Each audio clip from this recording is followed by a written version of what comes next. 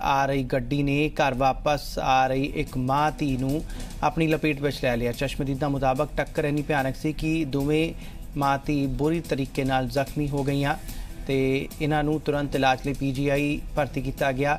ਇਹ ਪੂਰਾ ਜਿਹੜਾ ਹਾਦਸਾ ਹੈ ਉਹ ਸੀਸੀਟੀਵੀ ਕੈਮਰੇ ਵਿੱਚ ਕੈਦ ਹੋ ਗਿਆ। ਜਾਣਕਾਰੀ ਮਿਲਦੇ ਹੀ ਮੌਕੇ ਤੇ ਪਹੁੰਚੀ ਪੁਲਿਸ ਨੇ ਨੌਜਵਾਨਾਂ ਖਿਲਾਫ ਮਾਮਲਾ ਦਰਜ ਕਰ ਲਿਆ। ਅਗਲੀ ਕਾਰਵਾਈ ਜਿਹੜੀ ਹੈ, ਉਹ ਸ਼ੁਰੂ ਕਰ ਦਿੱਤੀ ਗਈ। ਤੁਸੀਂ ਵੇਖ ਰਹੇ ਹੋ ਤਸਵੀਰਾਂ ਵਿੱਚ ਕਿਸ ਤਰੀਕੇ ਦੇ ਨਾਲ ਸਕੂਟਰ ਸਵਾਰ ਅ, ਜਿਹੜੀ ਮਾਤੀ ਸੀ ਉਹਨਾਂ ਨੂੰ ਇਸ ਗੱਡੀ ਨੇ ਜਿਹੜਾ ਹੈ ਉਹ ਬਿਲਕੁਲ ਉਡਾ ਦਿੱਤਾ।